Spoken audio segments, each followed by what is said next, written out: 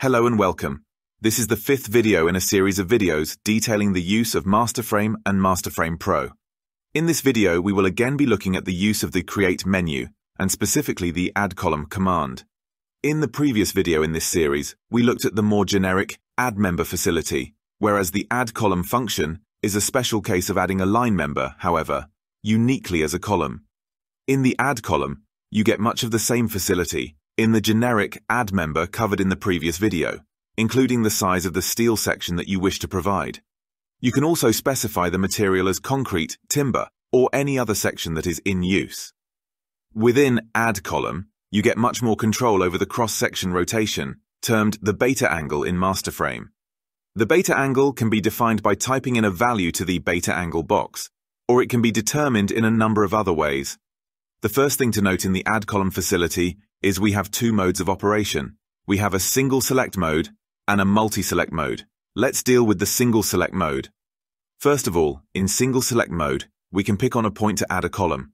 The levels at which the column will be generated are defined using the column Y values panel. The column can be defined either from a point or between two levels. When the column is defined from a point, it will be placed below or above that point. Simply by picking on the point, the column is defined and in this instance with a zero degree cross-section rotation. By clicking again, we can easily remove the column. If we change this value to 45 degrees, for example, we can see the effect when placing the column. The blue T symbol that you see when hovering indicates the cross-section rotation of the member that's about to be created. Again, we can use the undo facility again here for columns created. Conveniently, we can utilize existing angles of grid lines and beam ends to set the orientation of the column. From a plan view, we can see that as we move closer to the inclined grid line, the cross-section rotation is located on that point. The cross-section rotation can also be orientated about the minor axis, or perpendicular, to the lines that we select.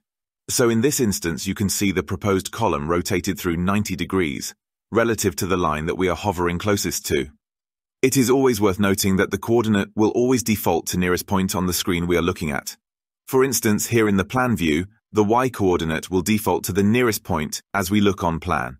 For example, when we are adding a column on plan, and since the grid lines are drawn at the base of the structure, intersecting at the y-coordinate of zero, this will be defined as the point of placement of the column.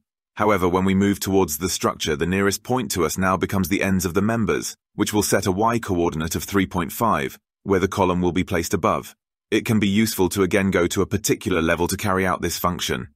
Now, when working at this level, all the points selected occur at the same y-coordinate. In this instance, we would like to say that the column is being provided below this point.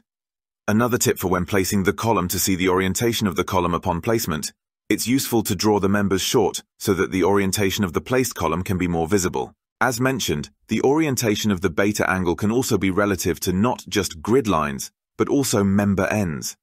Here we can see the orientation of the member relative to the bracing member, the member in the Z direction, and to the angled horizontal member on the screen. It's often more useful to define columns between two levels, rather than from a point.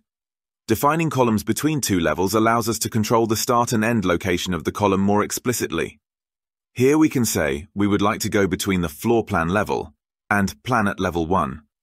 Or we can work with the full frame view and we can click points knowing that the start and end levels of the of the columns will be set between these levels, and not relative to the point at which we pick. Whilst adding these columns, we also notice that we have the option to generate some support conditions at the base of the column, where we can select pinned, fixed, or none. Where the base of the column might intersect with intersecting members, such as a supporting beam, we can say that we want the support condition only to be applied where the end of the member is not connected to any other members. Support conditions can be altered using the nodal static support condition within the restraints menu at a later stage if necessary. Moving on from the single select mode, we can also operate in a multi-select mode. In this mode, we can window sets of ends and intersections to place columns. Here we were saying that we would like to place columns at gridline intersections or beam ends. Let's just place columns at gridline intersections. Putting the structure in a plan view and placing the columns between the floor level and level 1 we are now going to say that we would like to put the columns at a beta angle of 0 degrees. Windowing these points, we can see the columns going in precisely at the beta angle of 0 degrees. If we window the same points again, the columns are removed.